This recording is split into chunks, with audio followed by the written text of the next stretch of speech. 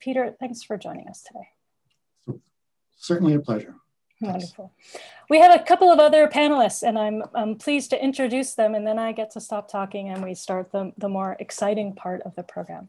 We're joined today to, by two researchers who are currently fellows at the East West Center Humane Artificial Intelligence Initiative.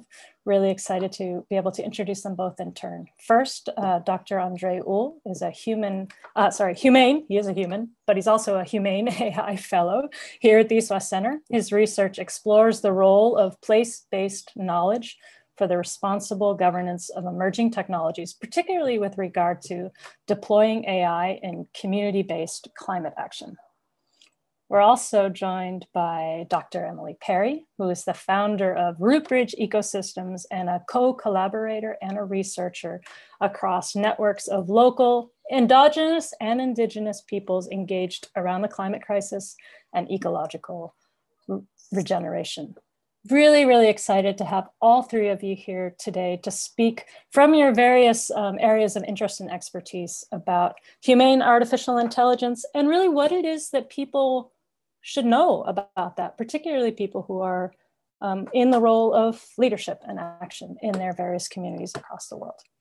So again, thank you both um, or all, Peter, Emily, and Andre for joining us. And Peter, I get to turn it over to you now and ask you to, um, to sort of start us off. Tell us a little about um, what brought you to write the book and why this is an important issue for us to be discussing today.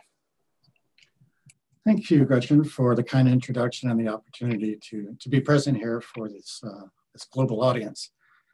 Uh, the book actually emerged out of a long-standing interest that I'd had in technology and how it affects society.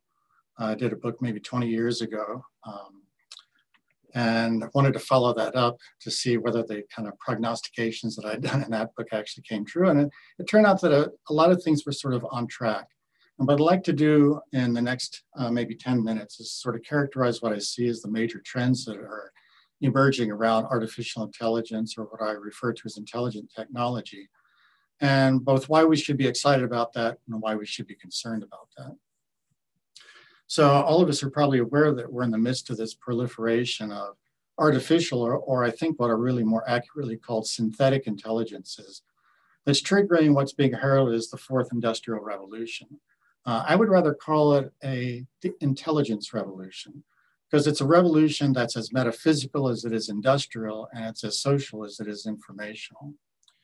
If you're a techno optimist engaging intelligent technology kind of at the, the technical and commercial frontiers, then the excitement is just so great and it's really warranted. Uh, intelligent technology has unprecedented promise for solving previously insoluble business, public administration, engineering, and research problems. That's the kind of stuff you hear on, on radio, on the media, on TV all the time about where AI is taking us. Uh, but no technology is risk-free.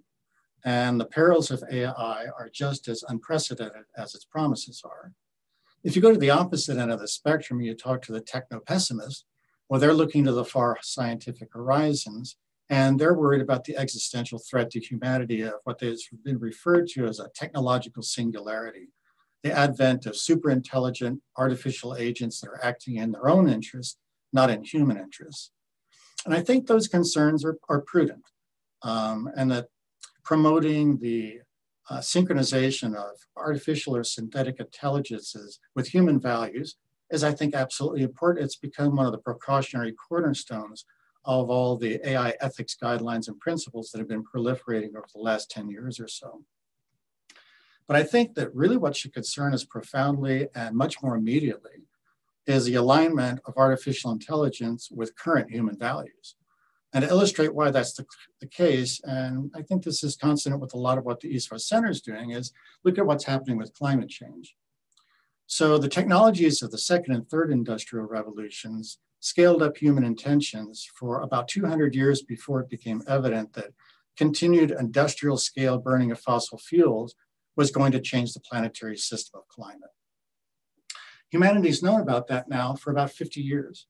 And the fact that over a half a century, humanity has failed to generate the kind of commitment globally that's necessary either to stop the climate change from happening or at least to ameliorate the worst of its impacts, that's a real issue for us because it's not a matter of scientific or technical lack of knowledge or lack of uh, uh, wherewithal. We've got the scientific and technical ability to address climate change. The reason why climate change is continuing and the, the effects are going to continue ramping up is because we have a conflict of values, a conflict among economic, social, cultural, political values. So climate change is not a technical problem, it's an ethical predicament. And similarly, the intelligence revolution is forcing our confrontation with a nexus of conflicting human values that has to be resolved ethically before any technical responses are going to be viable. And unfortunately, we're not going to have a couple of centuries to get our act together as humanity. We're going to have a couple of decades probably. And what I would see us heading toward is not a technological singularity, it's an ethical singularity. Ethics can be minimally defined, I think, as the art of human course correction. And it's the art of discriminating qualitatively among our aims, our interests, our values, and our means for realizing them, and then changing our conduct in order to reduce the sum total of, let's say, conflict, trouble, and suffering that we're engaged. That ethical singularity that we're being pressed toward by intelligent technology is an historical choke point at which the opportunity space for future further human course correction collapses. It's an arrival at a point beyond which we're going to have no more chance of escaping the effects of human values conflicts than light has of escaping a cosmological black hole. And I understand why the, the near-term risks of an ethical singularity has received a lot less attention than the longer-term risks of artificial superintelligence. I think it's useful to draw a distinction between tools and technologies. Tools are things. They're localizable artifacts that have been designed and manufactured to augment or extend human capacities for carrying out certain kinds of activities. And they can be evaluated in terms of how well they do the jobs that they've been designed to do. With tools, we can always exercise exit rights, we can choose not to use them. Technologies are relational systems. They're non-localizable patterns of material and conceptual practices that embody and deploy both strategic and normative values. They qualitatively transform the ways we relate to the world and with one another. And in actuality, we do not build or use technologies, we participate in them. Technologies emerge from and structure our conduct as humans much as natural ecosystems emerge from and then dynamically inform or structure species relationships. And by scaling up and structuring human values and intentions, technologies shape both human emotions and human motivations, altering both how and why we do the things that we do. And thus, technologies can't be evaluated in terms of task specific utilities. Technologies can only be evaluated ethically in terms of how they mediate and qualitatively affect human-human and human-world relational dynamics. Now, what sets intelligent technology apart from all previous technologies is that intelligent technology is not a passive conductor of human intentions and values. It is an active and innovative amplifier and accelerator of our intentions and values.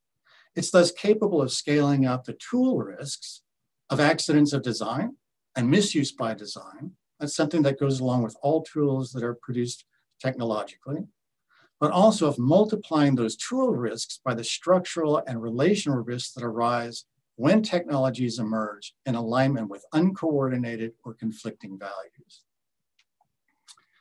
In my analysis of what's going on with the change dynamics around intelligent technology, a really crucial point is that we're undergoing a transition from what I call the attention economy 1.0, when mass advertising was used to attract and harvest attention and convert it into revenue by stimulating demand for mass produced goods and services. And transiting from that to the economy, attention economy 2.0, that began emerging along with digital network infrastructure that enabled 24 7 connectivity, an infrastructure through which the users of digital search, uh, social media, e commerce are being drafted into doing double duty as consumers of individually targeted material and informational goods and services, but also as producers of the training data for the smart systems, the algorithmic systems that are laboring tirelessly and creatively to accelerate and expand the revenue generating processes of attention capture and exploitation. So in some, instead of having crude price signals to deal with, uh, commercial interests now have multi-layered, highly granular data about consumer desires, behaviors, fears, to realize unprecedented gains in both predictive certainty and behavioral control. And to get a sense of just how much data is being generated, it's estimated that by 2025, just four years from now, humanity will be generating the equivalent of 10 hours of high definition video for every person on the planet every day. And it's this ubiquitous attention carried data radiance that is fueling a Cambrian explosion, an evolutionary explosion of synthetic intelligences and smart services that are transforming pretty much every dimension of society. And this is not just a commercial revolution, it's a geopolitical revolution. Uh, Vladimir Putin and the Chinese government both in 2018 announced that whoever leads in AI globally uh, will lead the world globally. And the United States has recently come up with a similar sort of statement in a recent uh, AI and security statement, a huge document that was put out, uh, started in the Trump campaign, but just recently uh, released, that basically makes the argument that if America does not get on board with ramping up its development and deployment of artificial intelligence, we're going to fall behind geopolitically. It's a national security imperative. So something like a new great game is underway. Those of you know a little bit of history know that at the end of the 19th, early 20th century, a great game among colonial and imperial powers was being played for land grabs, labor grabs, basically looking for resources. The new great game is not a land grab, it's a time grab. It's a global competition for total time and attention share and control of the dynamics of consciousness itself, a process I refer to as the colonization of consciousness.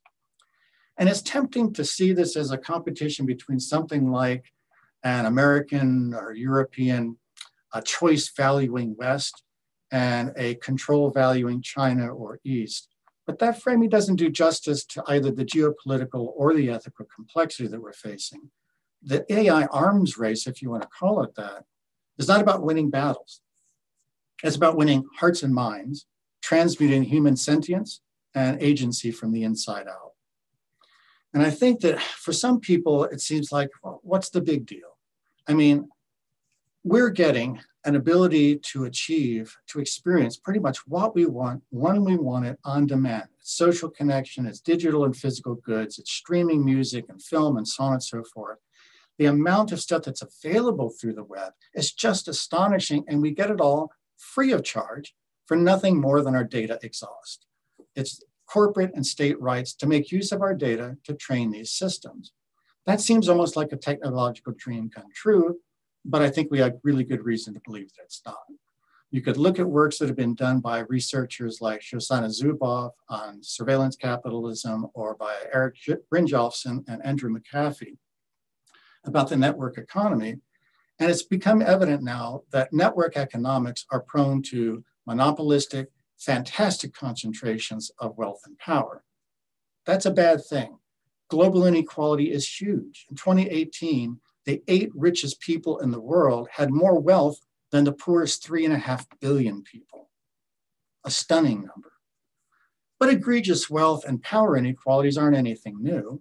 What is new is the wealth generation and power generation is being done through the recursive algorithmic use of our own intelligence that's encoded in our patterns of attention, that's captured by these algorithms, and then used to feed back, feed forward to us a set of uh, opportunities for digital download, for experience, for search, for recommendations, and so on, that then command our further attention. It's this recursive loop of attention, our attention being used to command more of our attention. It's a scaling up of a logic of domination, not through acts of coercion, but rather through ambiently reinforced choice and craving. What we're at risk of trading off is our most basic freedom, freedom of attention. Attention is the one resource that we need to make a difference in our lives or in the lives of anybody else. Without freedom of attention, we don't have freedom of intention. Without freedom of intention, the ethical dimension of the human mind and intelligence collapses. Creative course correction becomes impossible. So that's the worry. That's what I think we're facing. And what's the response? Well, I think it's a number of things. We need a new system of ethics, and it's ethics beyond an individual cultural or national standpoint. We need to develop a global ethical ecosystem to be able to chat to respond to and resolve the global predicament of intelligent technology. That means we're going to have to be present in such a way to engage with ethical virtuosity. And that's a practice. Like musical virtuosity, which is the reward of devoted musical uh, practice, ethical virtuosity is the fruit of sustained practice in the art of human course correction. We need to work at that. And that practice, that learning, takes time. And to gain the time that we need for the educational reforms of the kind and extent that I think are needed for us to develop both the capacities for and the commitments to openly creative predicament resolution, and to halt the permeation, or at least forestall some of the permeation of our social, economic, political, and cultural lives by intelligent technology, we're going to have to do something in terms of both data governance and in terms of education. Some people have talked about the possibility of digital asceticism. You just sort of buy out of the system. Some people talk about digital hedonism. Let's just go full bore into it because it's actually, there's nothing wrong. What can I as an individual do about it anyway? And I think neither of those are apt responses. What we need is collective digital activism. As a tactical response, something like connectivity strikes, not you know, data fasting, but connectivity strikes, something that we could talk about later if there's uh, interest in that but also to kind of a longer term strategic response, looking at the data sphere as something that we can govern as a public good and resource commons, maybe making use of some of what we've learned about both the possibilities of a carbon cap and trade and a carbon tax uh, sort of regime as a governance system to try to forestall climate change, and take an idea from that and say maybe we could have something like a data attention cap and trade or tax scheme. And we can talk about that in some detail again later on. But we also need an educational reform. And that is education that is geared toward predicament resolving skill, toward creativity, open creativity, not just innovation, which is being able to arrive at goals that you already know by new means. Improvisation is open-ended, it's open creativity in which what we're doing is to try to figure out how to expand the horizons of what we consider both acceptable, uh, achievable, and in terms of what's desirable. So the singularity ahead is really not about whether we continue to be human. It's about whether or not we prove able to demonstrate the shared resolve that's needed to change the evolutionary arc of this new Cambrian explosion, demonstrating both clarity about and commitment to becoming ever more virtuosically humane. Thank you.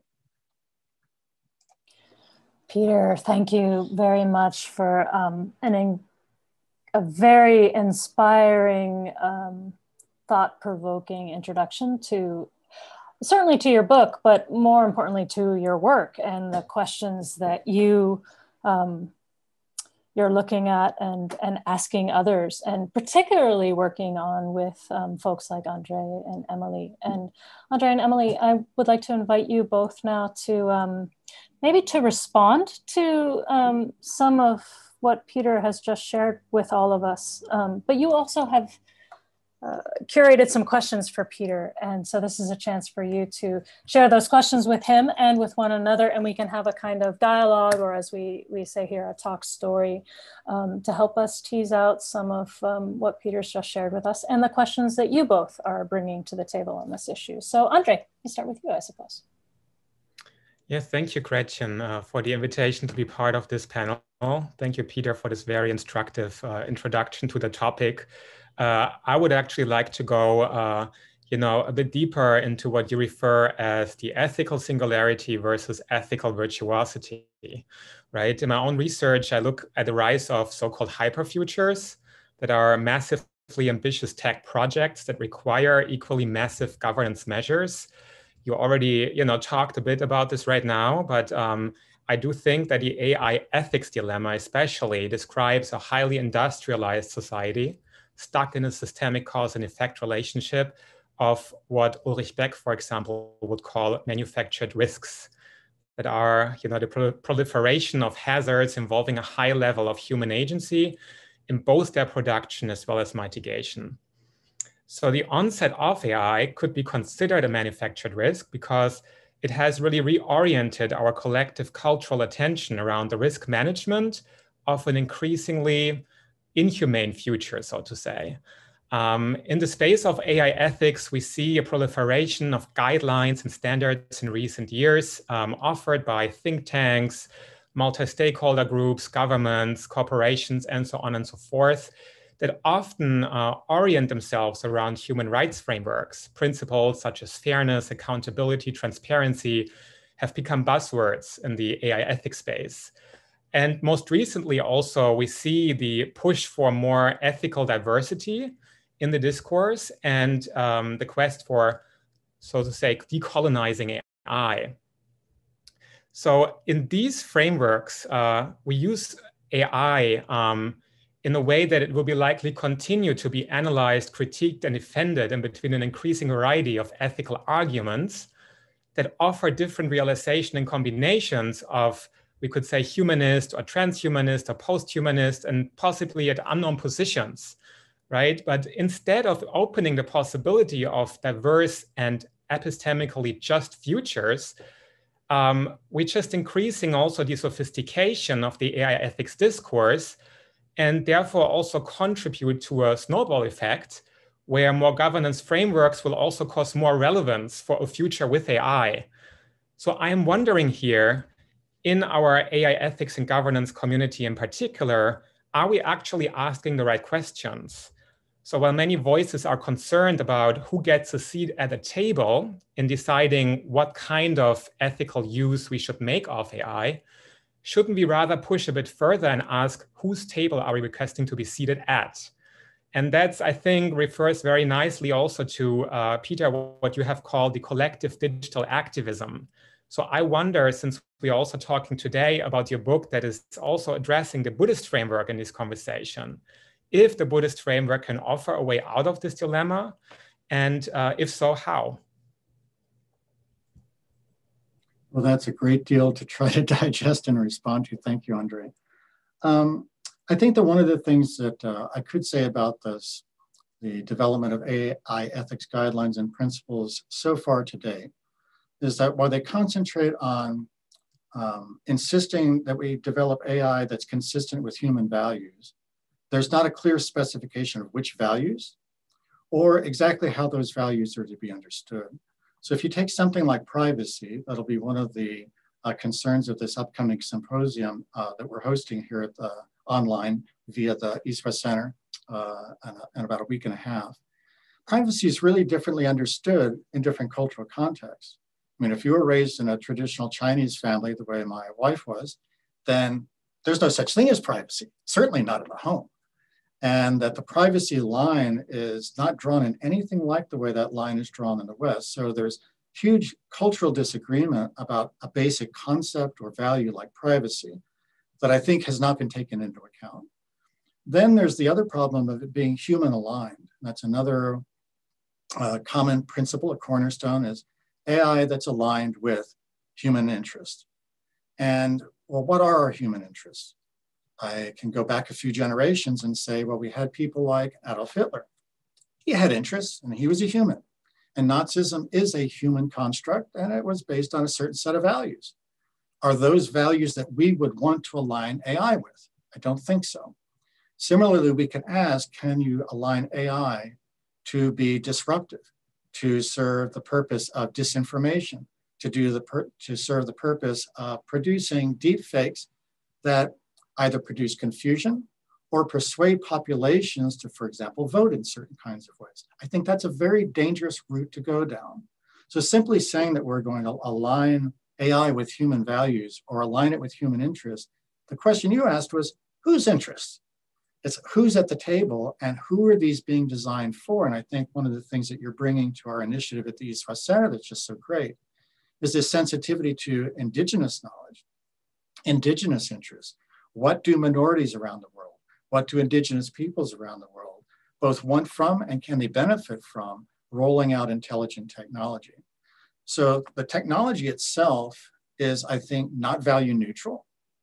But the, the issue is what kinds of powers does it give us, both in terms of knowing powers, epistemic powers, and the, the powers to change things in the world, ontological powers, including human consciousness. And in what directions do we want to change those? I think what Buddhism brings to the table is a set of principles about who we want to be present as in order to be able to address these kinds of values conflicts because we're always immersed in them. We human beings are not simple in the sense that we, we align even with our own selves. And we often act in ways that we end up falling into trouble. We make big mistakes. We have to correct for it. That's part of human nature is to learn from our mistakes. And I think what Buddhism offers is a set of resources for both understanding that process, how we engage in that personally, but I think most importantly, an emphasis on quality of attention and quality of consciousness. Because if we're really operating in this attention economy 2.0, one of the things that is crucially important if we're going to regain any kind of critical leverage against this system is to be able to know when our attention is being manipulated, to be able when to know when our quality of consciousness is being degraded, how that's happening, and to resist that. So I describe the Buddhist middle path as one of, whether it's respect to our own personal development or it's with respect to philosophical issues or these technological ones, there's always a range of opinions, there's a range of views. And I think that what we want to do is start with recognition, the recognition that, you know, China is 100% correct about what it's doing with AI 10% of the time. The United States is totally correct about what it's doing in terms of the commercial rollout and military application of AI about 10% of the time. Nobody's 100% right 100% of the time. But you can recognize the value in what these different systems are bringing ethical systems, political systems. And then to ask the question okay, given that, we want to resist their universalization. I think there would be nothing worse than to scale up the Chinese approach to AI globally. I think also there's nothing worse than scaling up the American approach or the European approach or the Israeli approach or the, the Iranian approach. What we don't want to have is a single system prevailing everywhere. What we want is a diverse, diversity enhancing, intelligent technology ecosystem within which the different uh, ethical and the different cultural values of peoples are brought into productive accord with one another. And that's a work that's going to be generational in nature. It's not something that's going to be accomplished in a month or two or by writing an ethics guideline.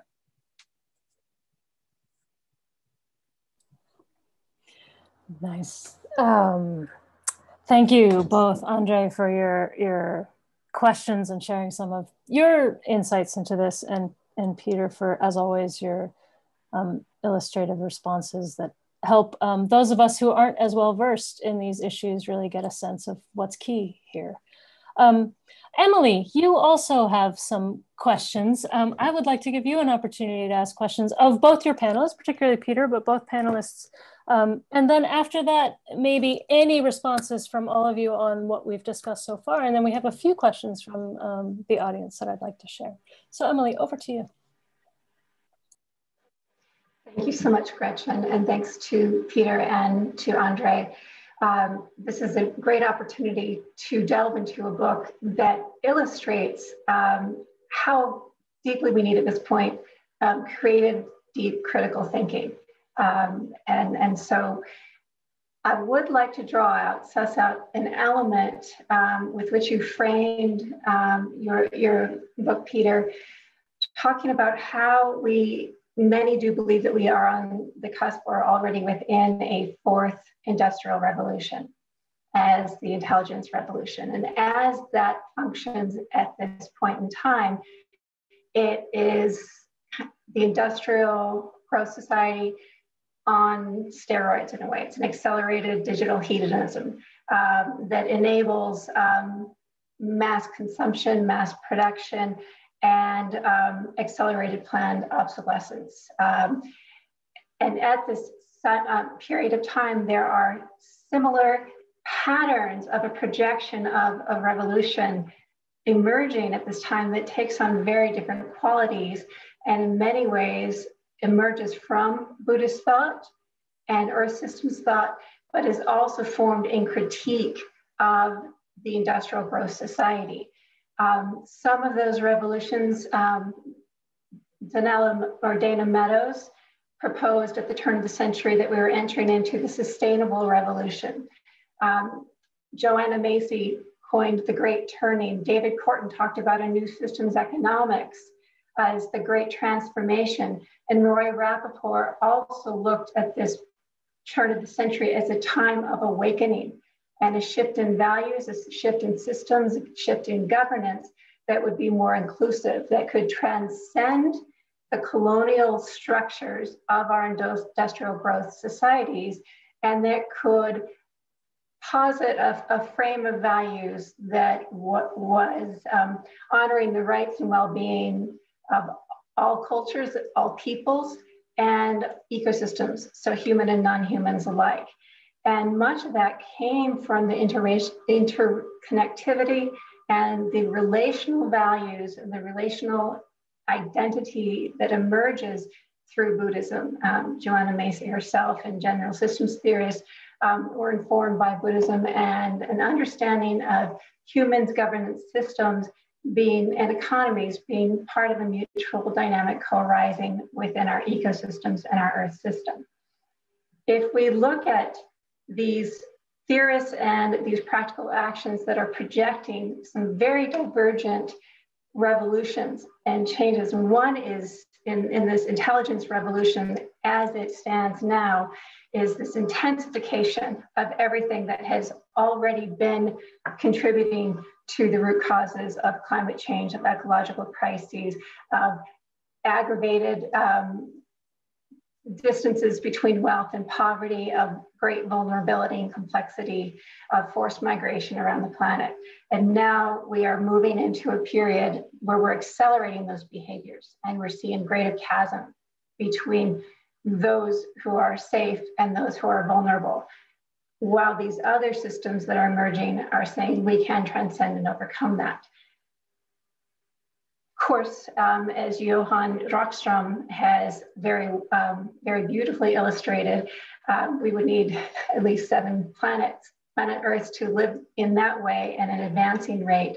Um, and currently, if we are to live within our planetary boundaries, we cannot be continuing to expand in the industrial hyperconsumptive manner. Within the equity thread of discourse, there's a tendency to still look within the narrow frames of the industrial market system, the dominant paradigm.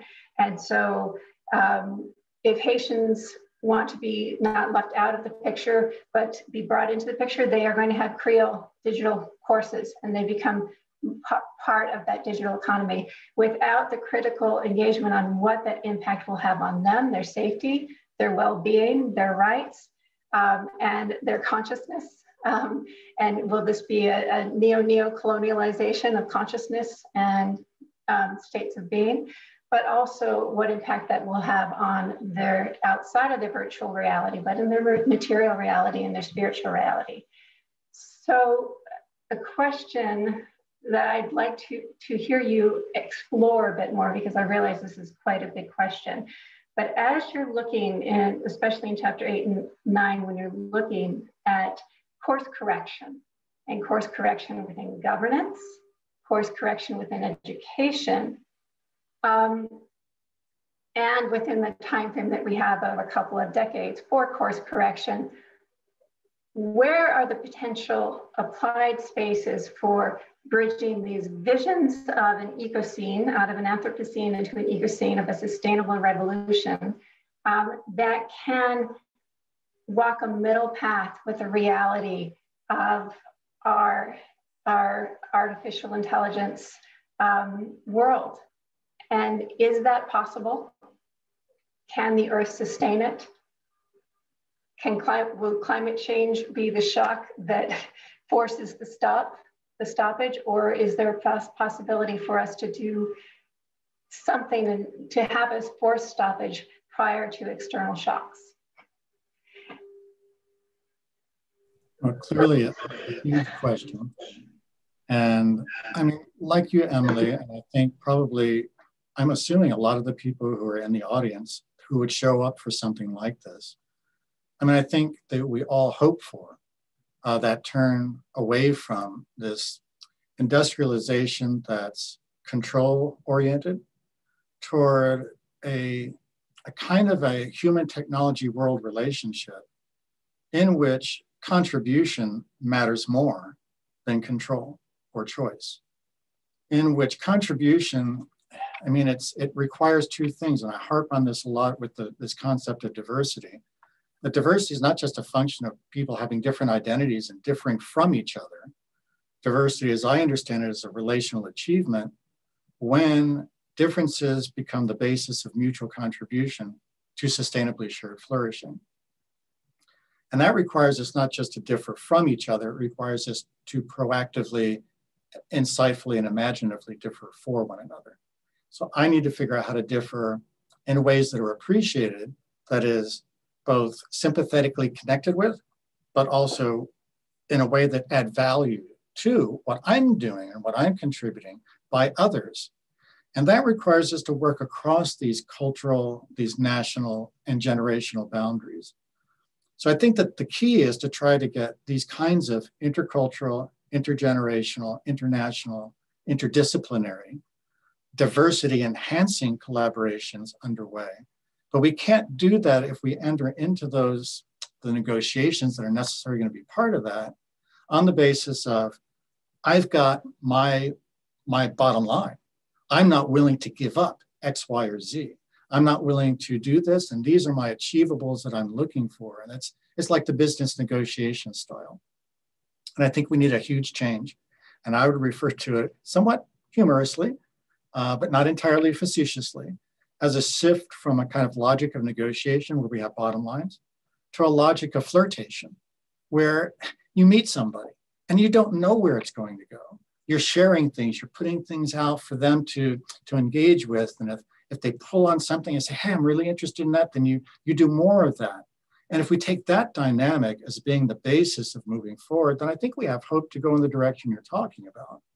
But if we continue to have this sort of instrumental attitude of we've got to have either a win loss mentality or a win win mentality where only one or a few players get to decide what winning means, then we're not going to go to the future that you and Macy and people like that would want to envision. And it's going to require us being really differently present as both consumers and citizens, as family members. And yes, Buddhism has a lot to offer. I think Christianity has a lot. Islam has a lot. Indigenous traditions have a lot. All of these traditions would not have persisted if they did not offer real resources for people dealing with predicaments of the kind that we face all the time in life. These values conflicts in families, in neighborhoods, in communities. So the technologies that are now being used at industrial scale, you could look at something like the gig economy. Uh, I've got a 19 year old son who's really supercharged about doing, you know, Uber Eats because he can deliver and make 25, 30 bucks an hour most days because people are tipping and this and that and the other. And I'm like, do you understand that by you doing this, you're participating in this larger system in which if people had neighbors and they had needs for others to go out and get food for them, uh, there are people who legitimately need food delivered to them. Their neighbors aren't doing that. They do Uber Eats instead. What would it take for us to have not an Uber Eats where it's a commercial organization, but an Uber Eats that's a community organization to facilitate people being able to do for one another the kinds of things that Ivan Illich was envisioning in his uh, 1970s work on tools for conviviality?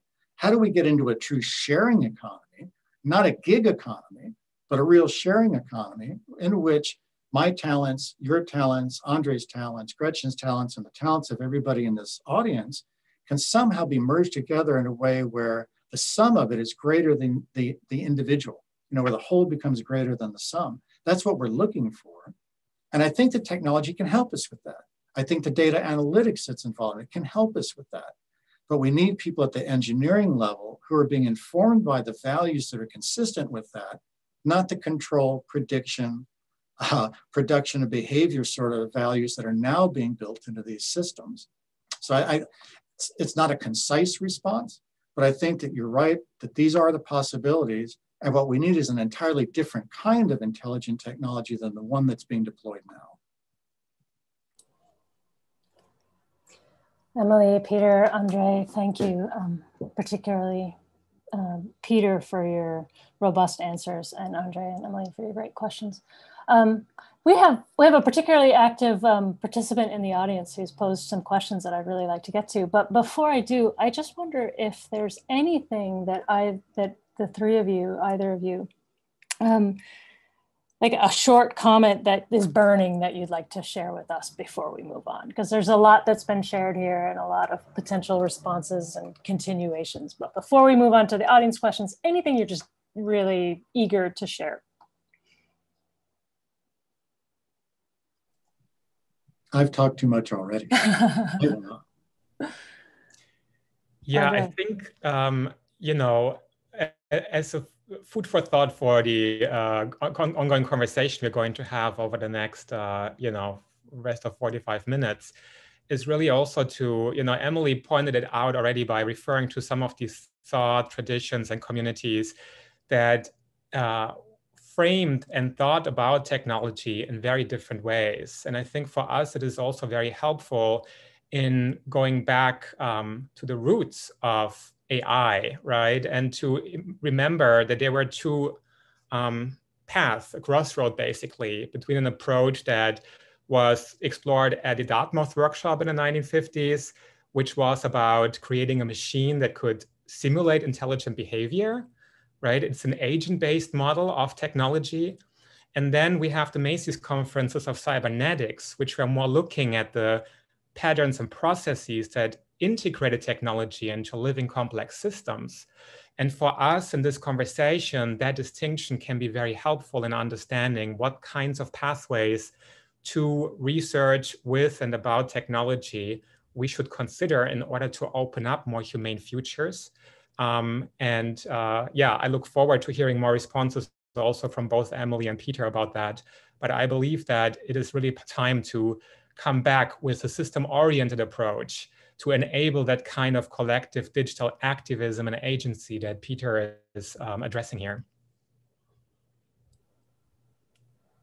Andre, thanks. Um, with the potential of overly simplifying what you just said, it was really helpful for me to hear. We've got this one early on this one view of like we're going to make ai like a human or this other possibility. We're going to integrate ai into the ways that we are as humans. And we have a question emily i see that you've unmuted yourself but if you're okay i'd like to tie this into a question from the audience.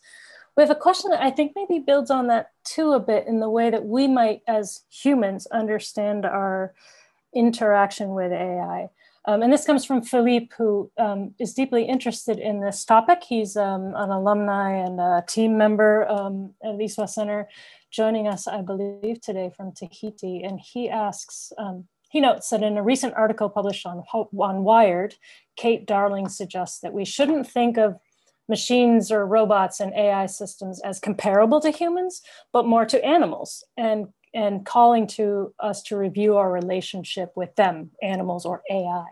Do you think that before talking about elements of ethics, to have a more humane AI, we should first define to what level of interaction we want to engage with AI and therefore find ways to collaborate more than focusing on questions of being replaced or outpaced? I will open that to whoever wants to respond. Peter.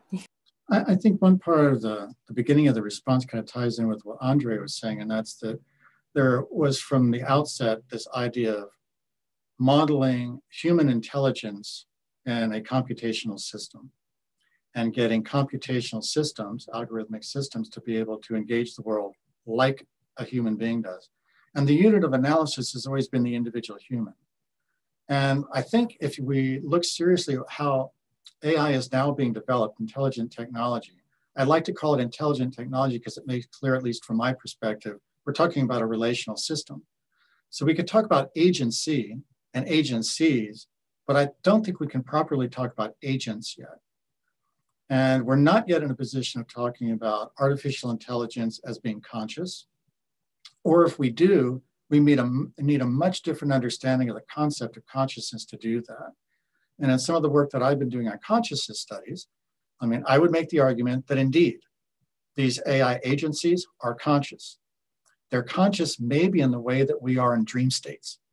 They may be conscious in the way we are, you know, in maybe a lucid dream in some cases, but they don't have anything like the agency that we human beings have.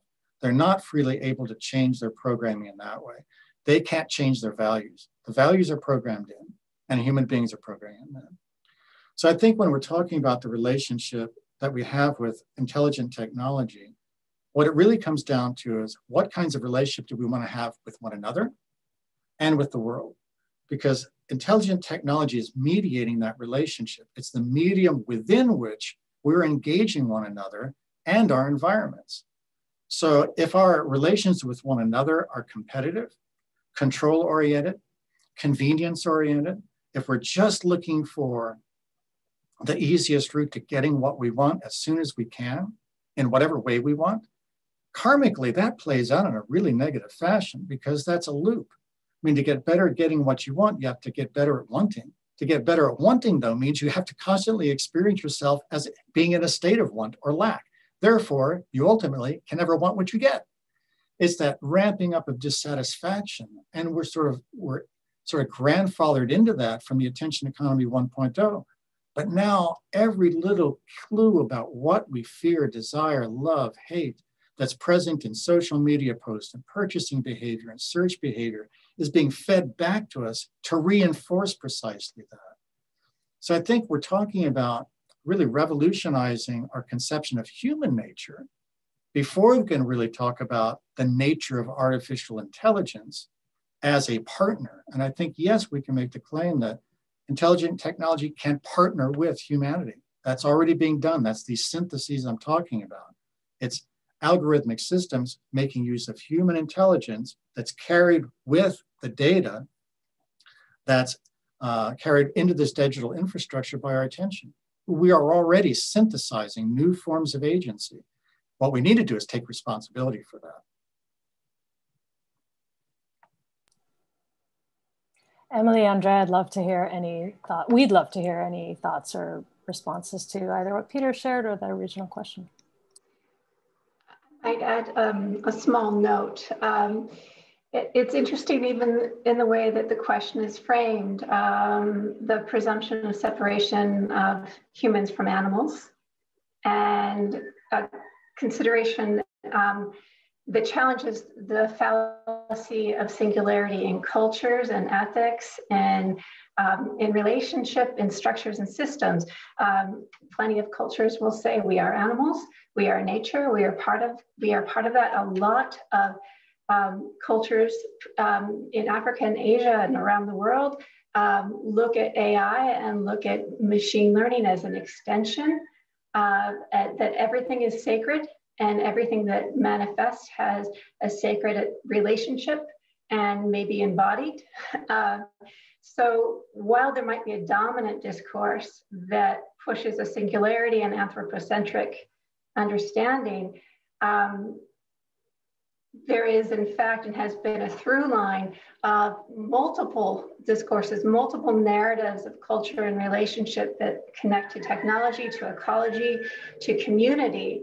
Um, and some of that even is, as um, Andre brought up in the cybernetics, um, Roy Rappaport wrote about the cybernetics of the holy and ritual sanctity in cybernetics. Lovelock, James Lovelock and Lynn Margulis, who formed the Gaia theory and Gaia hypothesis, they themselves also explored um, in, in a way, God and the computer and the relationship of um, breaking away from mechanistic universe and replaceable parts that you see with Dawkins and gene, gene theory um, and move it into more of um, a dynamic mutual um, interface that we create each other as, as we come into contact with each other.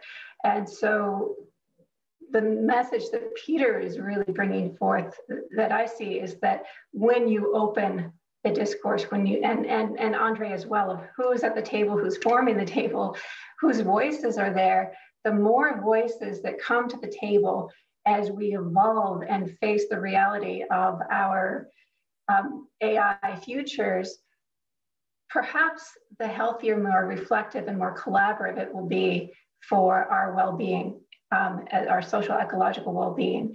Um, and we do have the models in nature of how to live in a healthy way, unity through diversity, and that diversity makes us whole. Maybe building then on that um, response, Emily, is one more question. Then I'll turn it back over to the panelists to ask each other. Um, I, I, think because of um, the robust conversation, it might just end up being one or two more questions. But I'll go to this um, second question from our um, participants, the folks listening in, um, really building quite well off of what you just said, I think, Emily, um, noting that you are all the experts and I'm uh, just learning about all this with your help. Um, the participant says that AI and other technologies are produced from a set of values and a cultural environment that influences their designs and interactions with humans. It's as ever as we've been talking about um, this afternoon. Um, but even more so, the interactions we have with them are defined um, according to specific visions of the world, economic, politically, etc and the social interactions, as you've all stated. So the question, you know, maybe you've answered this in some of your um, comments already, but it's worth asking again. For a more inclusive, and I would say a more humane AI, how do we define a set of principles that would integrate a broader vision of the world and broader values? In fact, are there universal values? In order to avoid AI becoming um, something that just produces one vision of the world. In fact, that's the whole topic of the panel. So maybe, um, yeah. Well, I'll just I'll just say Peter. I very much enjoy a distinction that's made by a French philosopher, Jean-Luc Nancy, between the common and the shared. And very often we want to rush to the kind of universal values, the common values, so-called of humanity. And for Nancy, he would say that, you know, this discourse about the common always has a coercive edge to it because the common is supposed to be something that's the same in everybody. But in fact, there is no sameness. You know, we do have different understandings of privacy. We have different understandings of something as elemental as familial love. So if we're as divided on things as basic as friendship, love, privacy, and so on, then I don't think that we have the basis for a universal common set of values, but we do have a possibility of shared values. So for Nancy, uh, shared value is a value in which everybody has a contributory stake. So it's like in economics terms, a share, you have a share in a company, you're part owner and you have a stake in how it proceeds and you benefit from it and you can influence its movement and direction. But a share is also a process that we engage in, a process of sharing. And when you share a dance or you share a meal, you don't both do the same things. You know, here in Hawaii, we have lots of potluck. And if everybody brings rice to the potluck, it's a lousy potluck. If everybody brings desserts to the potluck, some people might think that's a good potluck. I would not think it's a good potluck. I think what you want is you have some fish, you have some vegetables, you have some meat, you have some broiled stuff, you have some grilled stuff. You know, everybody contributes something different. If they come from different cuisines, even better yet. You know, you got some spicy stuff, you have savory stuff. So I think it's that vision that Emily was talking about of diversity, of taking, taking our guidance from the systems that have persisted, that everything in the world around us, the cosmos that we are a part of, is a record of differentiations from Big Bang on of everything that has mattered enough to be able to continue. All right? It doesn't mean it's good. It just means it's mattered enough. There's enough significance and meaning there for it to work. And we can look and see how ecological systems are working. They are sustainable, they are resilient, they're responsive, they're creative. We could try modeling our political systems, our economic systems on that, rather than on the win loss competitive dynamic. I mean, anybody who's done anything new reading in evolutionary theory, theory knows competition takes place within species, generally speaking, not among species, except you get invasive species that come into a system and disrupt it from outside. Within an ecosystem, species collaborate. They scope out their different niches and they work together in a way that's like the way family members work, where you don't have to talk about it, or the way musicians work when you're improvising together. It's not like you need a guide or a set of principles to do that. What you need is sensitivity and the sensibility to respond as needed, to differ as you need to, to get buy in in the environment that we're a part of. So I describe this as a difference between a power focus and a strength focus. Power allows us to determine how things turn out. Strength is what it takes to be able to engage in any situation whatsoever to keep everybody who's involved involved and playing so that the, this infinite game that we're involved in, the quality of the play gets better. Power is always a finite game. Someone wins, somebody loses. We need to move away from power games to the finite power games to infinite games of strength.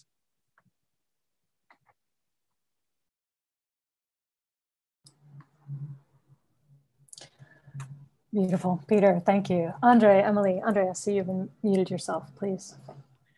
Yeah, I think, uh, you know, we, uh, this is a great um, prompt. I think it ties very nicely also back into, uh, you know, the previous questions about how we should treat the AI.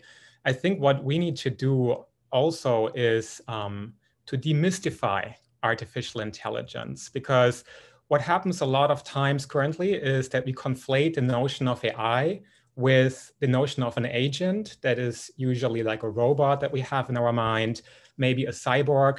And in that space only, it becomes actually possible um, to discuss how we should treat the AI. Should we treat it as another human, as a superior being, as an animal? But uh, you know, we also need to recognize that um, the idea that we are sort of at the cusp of meeting a thinking machine is nothing new. It's a narrative that has circulated in human cultures around the world for centuries. If you look at Greek mythologies or novels and plays from the Industrial Revolution, like Mary Shelley's Frankenstein, or even you know the sci-fi movies in, in the last decades, um, such as Michael Crichton's Westworld, we see a lot of portraits of intelligent technology as this other that is kind of causing, um, you know, kind of a cybernetic apocalypse uh, where machine agents rise against humanity. But if we come back again at this distinction between tools and technologies that Peter has outlined in the beginning, it becomes also apparent that in order to have a much more diverse and inclusive engagement with AI as a technology, we need to recognize that uh, you know technology is a system that amplifies our relationship, as Peter has mentioned it. So it is rather also about not controlling technology, but finding ways how to creatively engage with it in different ways where technology has its own place, but other forms of intelligence are also existing that have their own place. And in that kind of diverse ecosystem of different intelligences, there is sort of an ambient, I don't know, rhythm, pattern emerging based on which we can actually inform a more ethical behavior. But that will not happen if we kind of, you know, stay in our first order cybernetics view, so to say. You know, the idea that we could be outside of the system and control it, but actually we need to recognize that we are all embedded in this resonant space. And so technology is just sort of another player in that. And um, there we come into a space where it's much more about tapping into the creativity and inventiveness of human intelligence and remembering what aspects of human intelligence are unique that cannot be replicated by machine intelligence, and the other way around as well. But this is, I think, very important to recognize that um, uh, AI is not an agent per se, but we make it that way. And that's also how we cause these risks and perils actually to emerge.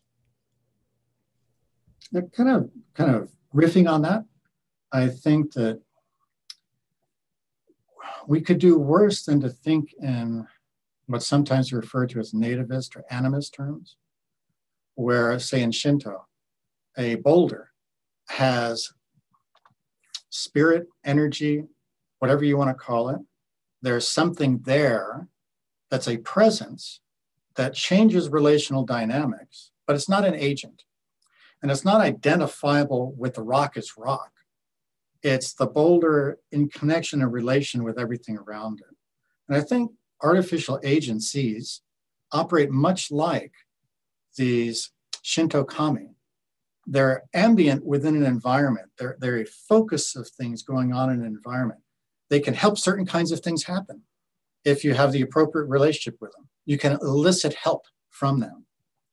And I think that that's a way of thinking about intelligent technology. We can elicit help from it, but it all depends on being able to recognize that and not confusing it with a system that you develop a individual to individual relationship with because it doesn't operate that way. And so I think that you're right that we need a, a transformation to occur at a very basic level of how we're understanding technology and to not confuse intelligent technology with robots among us. I mean, walk into a factory floor, those are robots. That's not intelligent technology. It's part of it, the big scheme of things, but these are just tools, they're artifacts. You can walk around them, you can disable them. You can't disable the technology.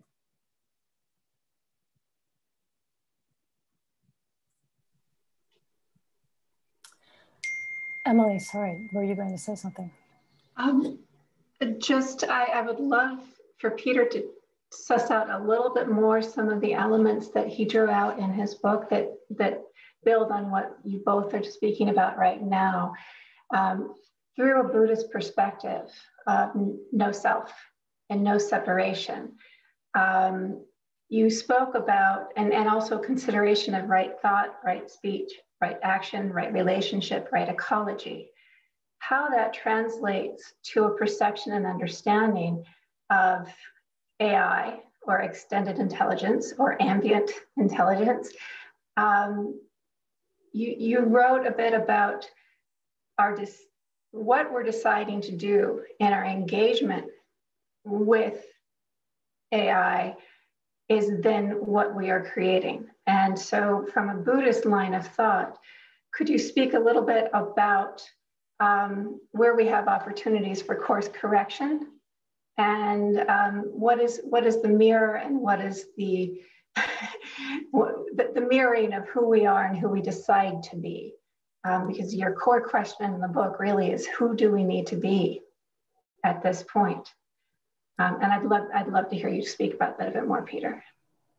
If, if I could add a question onto that too or like uh, because Andre, Emily, and Peter, of course, are deeply embedded in thinking about this and thinking about how it um, not only connects to your your scholarship, but your your also your work in the world. Um, not that those are different, but you know how you're interacting with people, what you're looking at with the communities that you're working on, and then then then there are people like me who are you know pretty well um, educated, trying to follow, trying to understand, and um, you know meanwhile feel very caught up in like this system as we all are, and are sort of unaware perhaps that we even have a choice. Um, and in some ways, this seems inevitable that this technology will, um, that this is going to outpace us in some way. So how do, connecting that question to Emily, I'd love to hear Peter's response on that.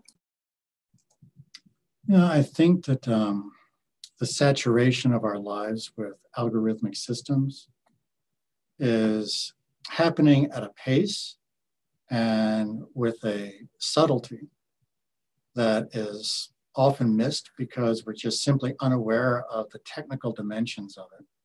So with something like new cars, my truck is 21 years old and it doesn't have any smart systems on it at all. It doesn't even have electric windows. But new cars are recording everything that's going on. It's when your car doors open and where they open from GPS reading. It's when the lights go on. It's whether you had passengers in the car, how many passengers when, the addresses that you're visiting. And all of that can be read out from things like the information system in the car, from the thing that's monitoring gas use in the car, that all these systems are interconnected. And if you can hack into any one of them, then you can get all the information in it. So you can, from somebody's automobile, derive a kind of life history of that person and their activities. Same thing with a, a, smartphone, obviously. But we don't think about, you know, we worry about people getting our smartphone and what we do with it, but not with the automobile. So it's becoming so thoroughly embedded with this Internet of Things that it's becoming ubiquitous, it's ambient. The intelligence is ambient. It's all around us. We're suffused by it. Uh, it's in our clothes at times, it's in shoes that you wear. And so, on the one hand, that's wonderful. It keeps us from having to kind of interface with it actively. On the other hand, it makes it really hard to be responsible for what's done with all of that data that's being produced. So I think part of getting critical leverage is first getting communities that are aware that this is going on and why it matters. And I think that I would suggest anybody who's interested in what some of the downsides of algorithmic uses in, say, public administration um, would look at books like um, Weapons of Math Destruction, not Mass Destruction, um, where basically what a highly trained computational scientist is looking at what happens when algorithms don't take into account real world relational dynamics and start to do harm, not because they were designed to do it. This is just, it's a design flaw because of the way the data is being generated and what's being, what's being modeled into the system in terms of its objectives. And so I think that what we want to do is say, who do I need to be present as in order to become aware of these things and to take responsibility for how my data is being used? And we can do that. I mean, the European Union has a general data protection plan that every website, you visit the website, a corporate website, and you're prompted, how do you want your data used? You can go through the list and take the time to do that. Now, this, the problem is, is lots of people won't take the time. They just click and go, I don't care, it doesn't matter to me. And I think what we want to do is to say how it matters. And if you took a book like Weapons of Math Destruction, you took some of those stories in it and turned them into feature films. You turn them into, you know, great rap tunes where somebody's really talking about how this stuff operates and bring it to a general public in a way that a general public can get interested and engaged, then I think we have a chance. But if it's people like me talking philosophy, or I'm talking Buddhism and, and somebody's a Muslim or a Christian or just totally a religious, they, they tune out. Why would they? But if it's a good story, we need better narratives a narrative of hope, a narrative of strength, in which we as human beings can reconfigure our future because we can always change our configurations of values, our intentions, and the actions that put them into, into place in the world. That is our, our right. That is our, our capacity. Nobody could take that away from us unless they take away our attention. They take away our attention, we, we are totally lost. So I would say what we need is attention training.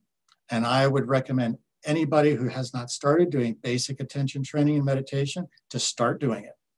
Because it's the one way that you realize you do not, at present, unless you've been a meditator for a while, you do not have any control over your own thoughts. You don't have any control over your emotions. You don't have any control over what you're doing most of the day. You're on automatic. And you realize it when you try to pay attention to something as simple as your breathing breathe in, breathe out 10 times without doing anything else. You get to three, and then you're thinking about lunch or dinner or what have you. It's really hard. And so, as attention moves around and can't be stabilized, it's a lot easier to distract and attract. And what we want is to be able to, to use our attention for our purposes, for the purposes of our family members, for the purposes of our friends, to be able to have what it takes in terms of those commitments and the clarity about how to deploy that you need some real clarity within your consciousness. So I think that, yes, it's a revolutionary thing. We need a consciousness revolution in addition to all the other things we need politically, economically, and so on. We really need a consciousness revolution to get people to care enough to want to participate in the resistance to the misuses of good, otherwise good tools, but also in the deployment of systems that have these ironic or, or conflicting values built into them.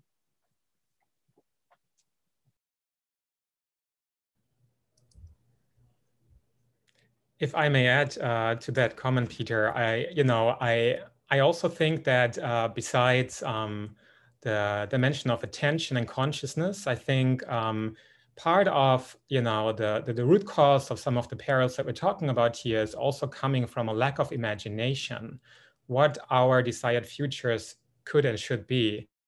And so we're also tapping here into the dimension of creativity. And as somebody coming from an art background, this is something very important to me, is we need to also recognize that the current technologies that we are getting in touch with, we are kind of encountering them mainly uh, from the position and role of a user or consumer. And there are less and less spaces where we actually have an opportunity to engage with these technologies as a creator. And so, um, and if we are creators, we are mainly creators as part of the, uh, you know, tech entrepreneurship economy. But the, the spaces of critical artistic engagement with technologies like AI is getting smaller and smaller. And I feel like this is a very important perspective to explore further also in terms of what kind of role academic institutions can play besides offering a discourse and a different kind of narrative around thinking about these technologies it's about also how do we foster that technical literacy, that futures literacy, to put the technology back into the hands of the communities that are going to be impacted by them and allow them to kind of figure out how they want to use and govern them in their own terms. Um, yeah, so here we go back again, you, you know, like it's this interesting interplay between the tool and the technology actually. We need to think about both sides of it in order to enhance the humane impact of both.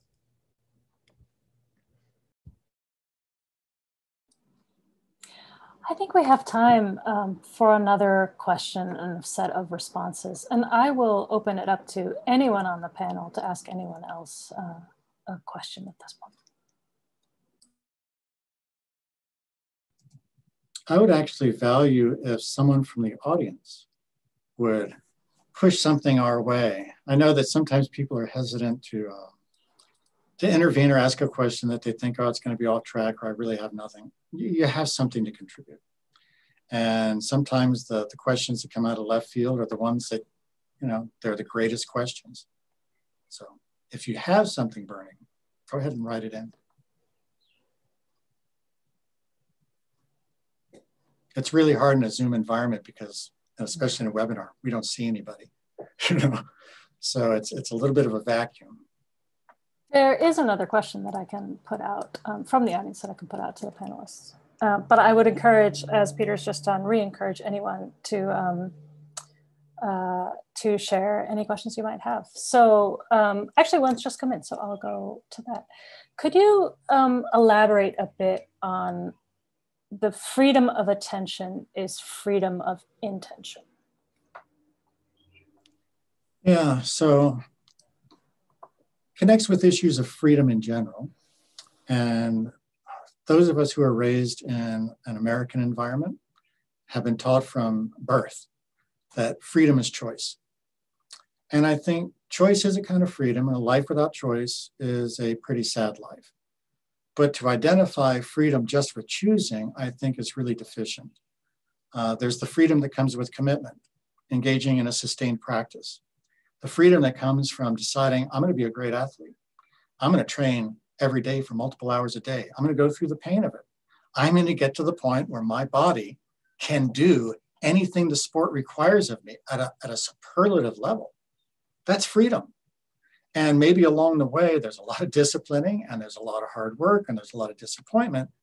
But that's an expression of a kind of freedom that has nothing to do with making choices. And similarly, I think that for most of us, we tend to think that we do what we want to do, that we, we have our values, we have our interests, and we act on them. And then I, I would ask my sons when they were teenagers, and when they give the argument, which American kids often do, you're infringing on my freedom. You're keeping me from being able to do what I want. And I ask them the question, where did your wants come from? What do you mean?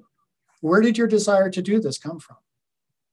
Did it come from your bedroom when you were sitting in your room by yourself? No, it came through your interactions with others. Where did the thought come from that you want to do this?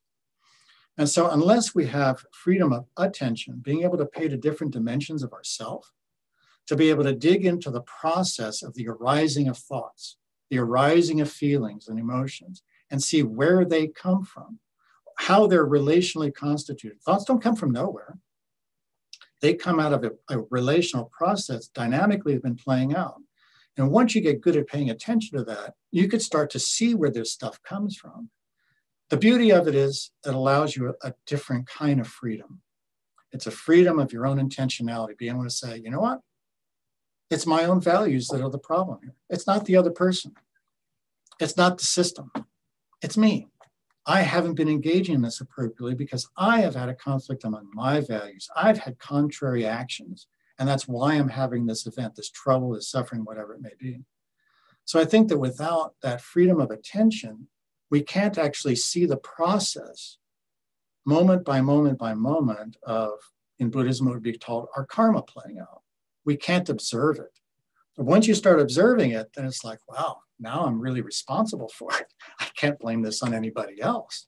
I have to, to take it by the reins and do what I can do with it. And when you're in a position like that, you can start to see others who are caught by their thinking, caught by their emotions, then you can't help but feel compassion. You know, so it's that awareness of how it works in yourself that gets you to recognize it happening in somebody else and to realize they're no more in charge of yelling at you than you were of negatively responding to what they were doing. It was just all automatic stuff playing out. And to get to the point that you can freely start to change that dynamic requires at least one, and ideally both or as many people as involved, to collectively be there in a shared moment and say, you know what?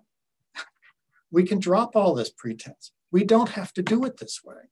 We can sit in silence for a while and start to figure out how do we galvanize in this moment a shared way forward that we can all participate in. As different as we are, where our differences are not ignored, are they not tolerated, they actually become the basis of mutual contribution to this shared endeavor. So that's where we want to end up. I don't think we can get there without that quality of attention and intentionality that comes with understanding the dynamics of consciousness and the way it plays out.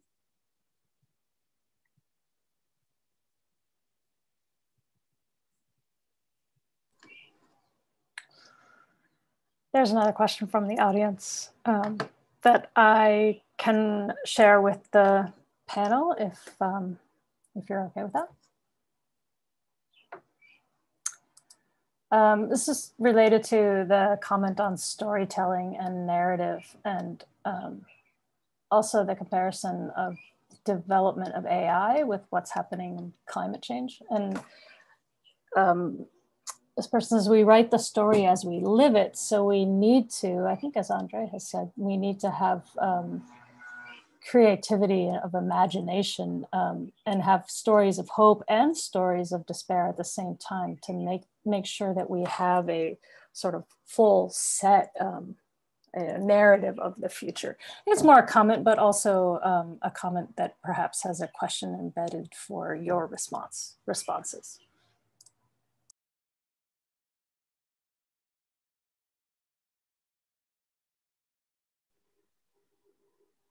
I wouldn't mind starting just a little response and seeing what, what that sparks with others. Um, well, it's a beautiful comment. And uh, our brains are wired for story. Throughout cultures, throughout history, throughout time, story is where we anchor our relationships. Um, it may be where we find momentary or no meaning. And if we step back from this larger picture of um, an acceleration of change and transformation on our planet, climate change, ecological crises, um, state, um, basically governments um, being challenged to continue functioning in international government as well. Um, in that, we're asking for where are the elements that we can engage in a process of in, in, guiding where we where this goes. Who will we be? And story and narrative and song and cultures coming together help us see ourselves with each other.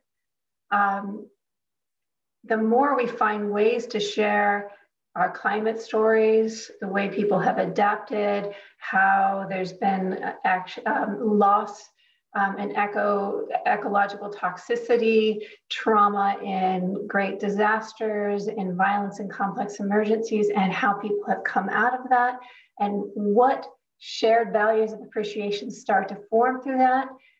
I believe that there is a pivotal point within that shared storytelling that helps us say, this is what we, this is the vision and the pathway out of suffering. These are the causes of suffering.